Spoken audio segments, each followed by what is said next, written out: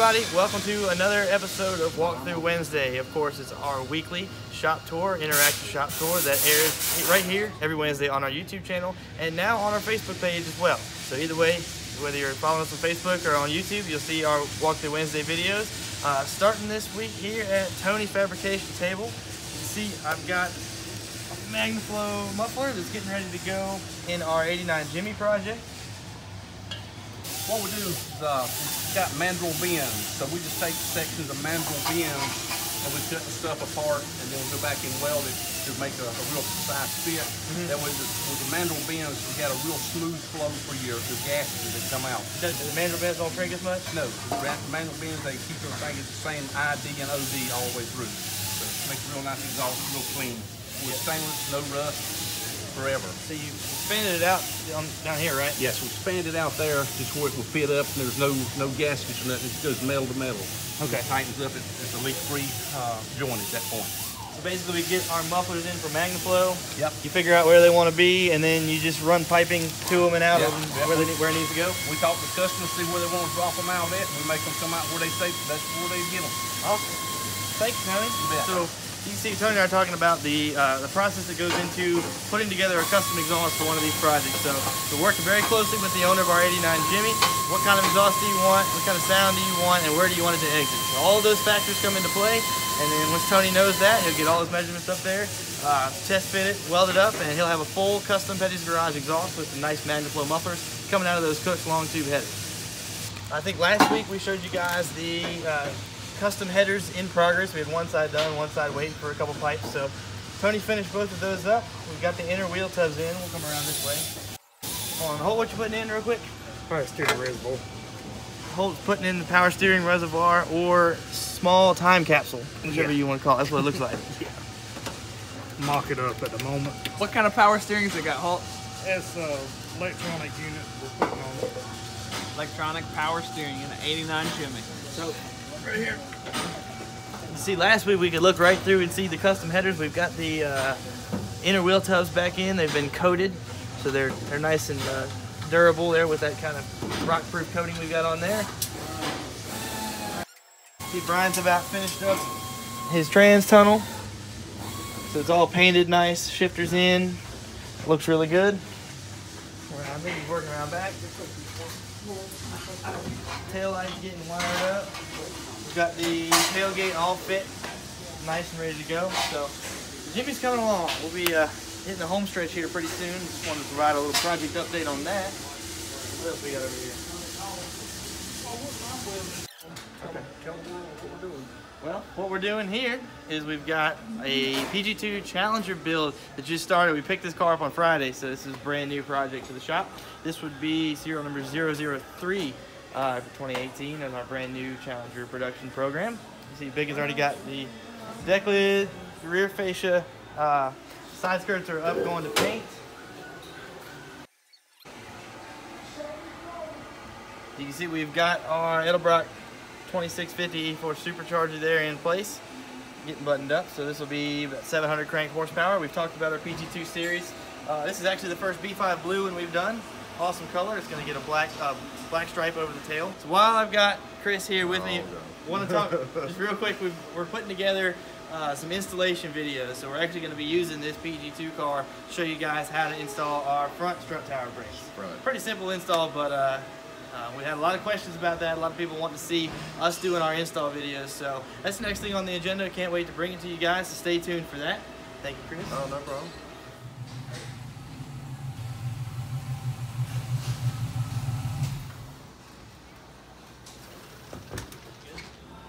So Murph just rolled up in this '66 Chevy 2 Nova. Uh, we did not build this car. This this came in as a customer that wanted uh, some custom tuning done. So that's that's become a much bigger part of our business. Is just folks coming in that the cars aren't running right, so they'll bring it to us. We'll strap it to the dyno and do a little custom tuning. Let's see what's under the hood. That's a good idea. We'll keep figuring out how to do it. Oh, there you go.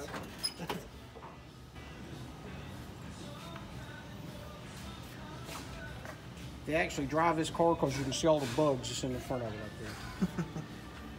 they enjoy it. That's what we like to see.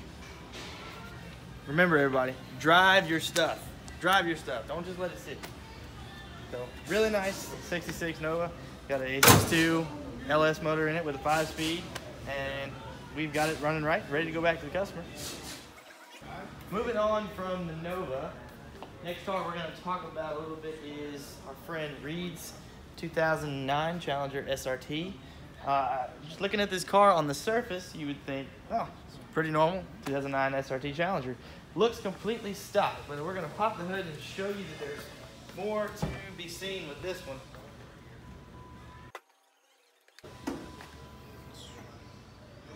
I think that would qualify as a sleeper type build. Uh, what we've got under the hood here is our Petty's Garage 426 Hemi. And all that comes with that, you can see all of the specs on our website of what you get with a 426 Hemi. This is a 6.1 based 426 Hemi, so if you have a 6.1, you'd like to build it, or if you have a project that you'd like a 6.1 426 in, just give us a call and we can set you up with either one. Uh, on top of the 426, we've got a 2.9 liter Whipple supercharger. So this thing makes north of 800 horsepower easy. Pull up next to it at the stoplight, would not know, which is really cool. Uh, this customer actually owns the 1,000 horsepower twin turbo silver Mustang that we uh, did a feature Friday on a couple weeks ago. So he's actually got two Petty's Garage sleeper builds. Really cool. All right,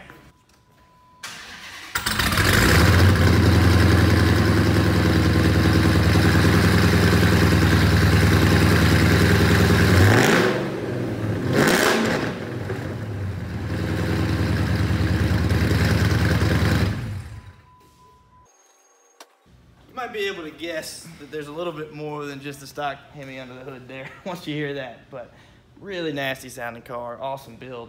And just want to show you guys, this is actually our featured build of the week. So tell us what you think. You can see in the booth here, we've got our friend Kevin spraying all of the lower cladding pieces. This looks for uh, 2018 Mustangs, production cars.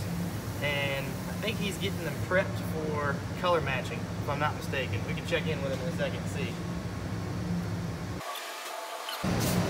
Kevin. Yes. Give us a quick rundown of what you're doing right now.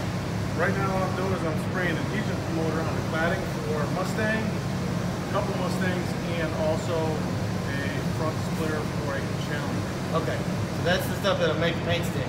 To the plastic, yeah. And then I'll put some primer on it, and then we'll sand that primer and then we'll paint it later on this week. Okay, awesome. So yeah, what, what Kevin's saying is he's getting the plastic cladding pieces ready for primer, and then they'll go to paint. So that's the extra step we take to make sure the paint doesn't fall off when it goes Correct. the car. Yeah. Correct. So, and you see we paint everything off the car. We do not tape it up and put the car in there. The entire cladding is painted and, and prepped and everything separate from the car, then it'll go back on. Correct. What color are you mixing, Kevin? We are mixing um, the RMP 26. That's the power fill primer. So prime the, uh, the cladding. Cool damn. It's for the cladding pieces that him and Bradley just talked about momentarily. Correct.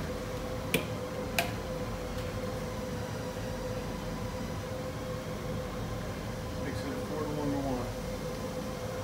What are we doing to it? Are we body working the whole thing? Where'd it come from? Any idea? It's cool. It means cool.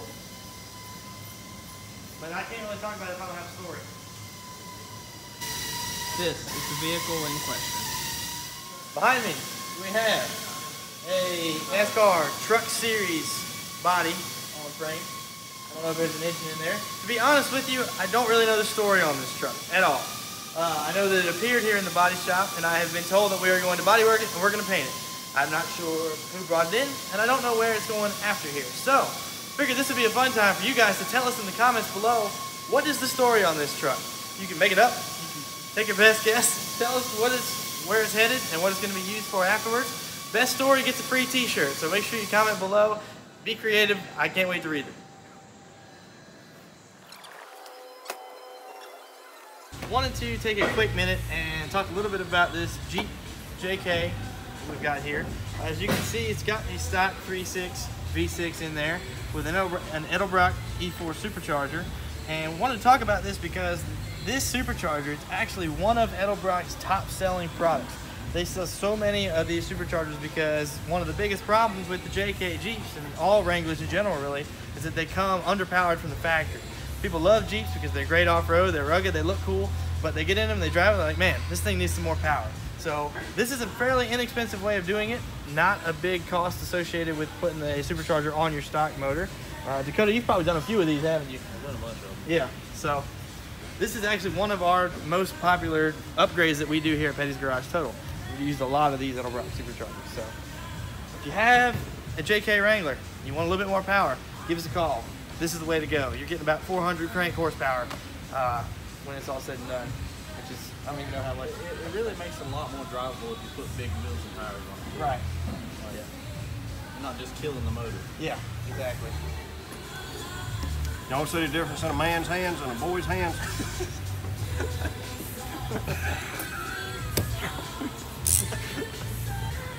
What are you working on, Mitch? Oh, we got another 18 Mustang here. Uh, suspension mods, a little bit of lowering kit, lowering springs, um, big axles in the back so it handle the horsepower we're going to add to it. Um, This is a King Premier Mustang. King Premier Mustang, yes. Uh, painted car. I don't think we've seen the axles. Show us the axles. Basically, we take these little wimpy Ford axles out here and we put these uh, branded Petty axles in here. Made by our friends G-Force. G-Force Engineering, yep. Uh, so now we'll be able to handle the extra horsepower we're going to add to it. So what makes these so much better than these? Well, I mean, this has got a little bit heavier CV joint in it, uh, a little bit heavier shaft, um, probably a little bit more hardened uh, drives here. So I mean, it, it's considerably bigger piece. Right. Because this is a weak point when you put a lot of horsepower. Exactly. When you know, because you're going to be burning burning the rear tires off of it. You know, Yeah. That's a lot of hammering on those things. So, Right. Um, just a little bit deeper stuff there.